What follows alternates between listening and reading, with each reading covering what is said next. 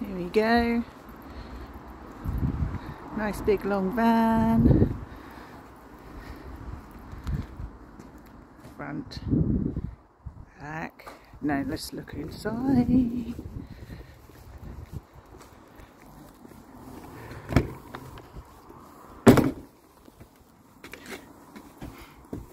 Nice front lounge area. Alde central heating, which is really good. Nice wraparound seating, so that you can make it into a bed. Look at this retro, um, retro 70s bar with seats. Ideal for teenagers.